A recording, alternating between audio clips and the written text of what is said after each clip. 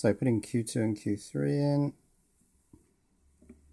which are 9014s, might as well just check from the circuit whether they're NPN or PNP. Well, Q2 is a 9014 and it's an NPN. Q4 is a 9015 and that's a PNP. So we're doing the PNPs next, the 9015s.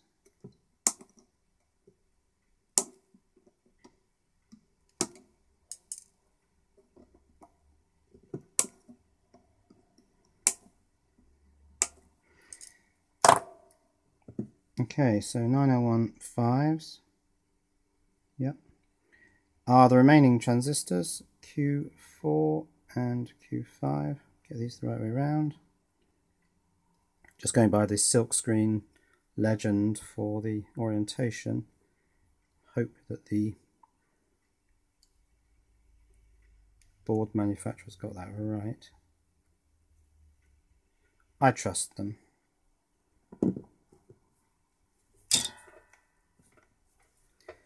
Right.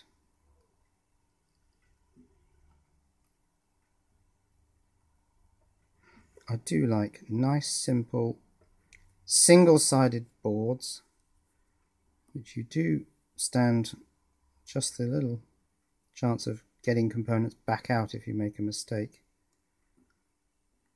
I really don't like double-sided and surface mount and all that.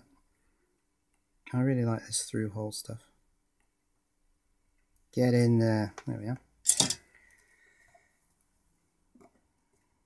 Okay, trim those legs. I think that's all the transistors in.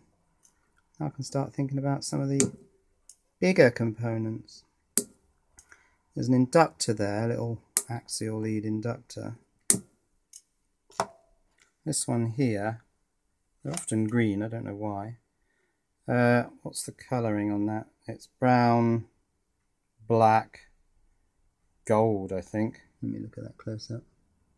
No, it's brown, green, gold. So it's 15 something or others.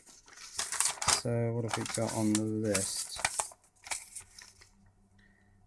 Well, we've got L1 as 1.5. They say microfarads. It's probably microhenries, actually. L1 1.5. Let's see if we find L1 on here. Oh, there's L1. Oh, so you have to stand it up. Okay, well, that's fine. I can do that. So the 1.5 is good enough for me. Actually, I could check this. Let me crop this leg. So I'm thinking it should be 1.5 micro microhenries. In it goes, switch on. What have we got?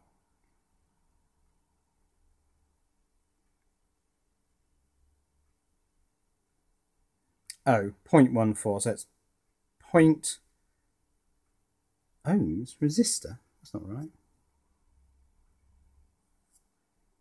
That's saying it's a resistor. Why is it not telling me it's an inductor? Hmm. I suppose that could be a resistor. Just looks like one of those inductors. Well, it's telling me it's uh, point well one five last time, 0.19 ohms this time. It's a very low resistance. I do think this is an inductor, but it doesn't seem very inductive. I presume this is up near, yes, this is actually in series with the antenna. That's really weird that that doesn't show that as an inductor. Wait a minute, I'm going to get the other component tester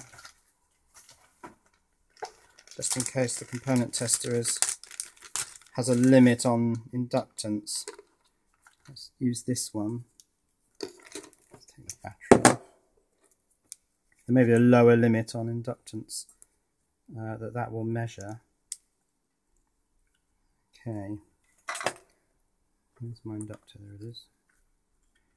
Actually, this is the one where the where the things don't open properly. Right, test. Testing, well that's showing a resistor as well. So this inductor is obviously not very inductive. neither of them are picking up that it's an inductor. I mean, I'm have, just going to have to go with the fact that um, this is the inductor. I can't imagine it's much inductance since it is just in series with the antenna. It's definitely L1 because there's not much left on the table. Screws, wires.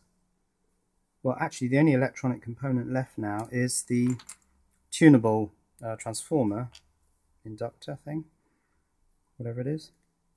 Yeah, this must be L1, so let's shove it in. There. That fits in reasonably tightly, so that should hold itself while I solder it.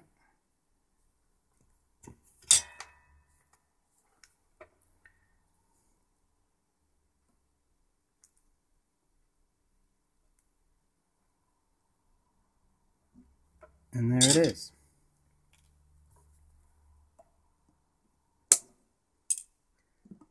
That was my earliest memory of electronics. I think when I was about seven, my dad bought me for my birthday. We didn't have a lot of money.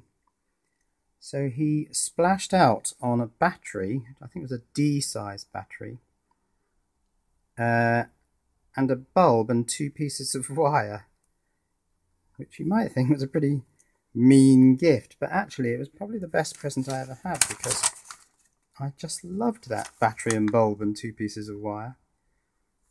Now this transformer uh, has three taps on one side and two taps on the other. So I should be able to get this in the right way round. The silk screen on the board shows the three taps and the two taps. Oh, well, there's actually three pins on one side and two on the other. So I can't really get that wrong. So that goes in there. That seems to be holding itself in reasonably well. Move that capacitor a bit. Yes, I think that was probably what got me started on electronics. And I just was so pleased with that gift of a bell of a bulb and a battery and two bits of wire that um, subsequent Christmases or birthdays or whatever they were were followed up with the electronics kits, the electronics sets. And that was it, I was hooked. And then I can't remember how old I was, probably 11 or 12. My mum bought me a couple of electronics magazines. And I remember one of them, it was ETI. I even remember what project was on the front cover, some sort of burglar alarm. I'd probably recognise that front cover if I saw it. Right, that's the tunable inductor in. Now, remaining parts to be soldered on the board. Still haven't got R10. If I can't work out what R10 is, I'll just shove a wire link in there. Uh, but I'll try without R10 first. Depends whether it's sort of a series linked component or a parallel linked component. It's just a mystery that it's not on the list and it's obviously not here. Do you just leave it out? I presume you do.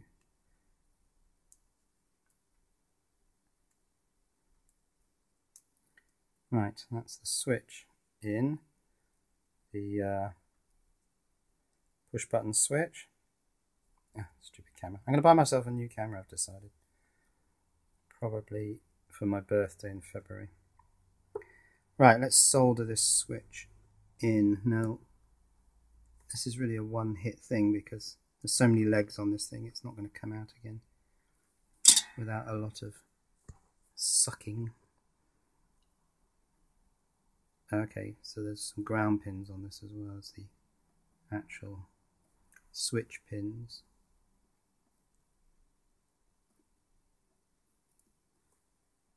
Yikes, this is quite fine pitch.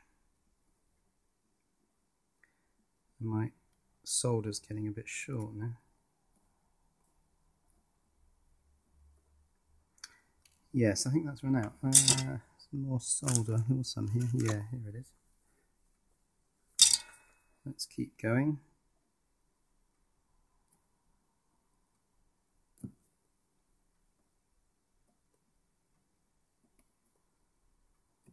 That pin's not connected. The outer shell of this switch is also soldered. Not sure how critical that is or whether it's just for mechanical mounting purposes.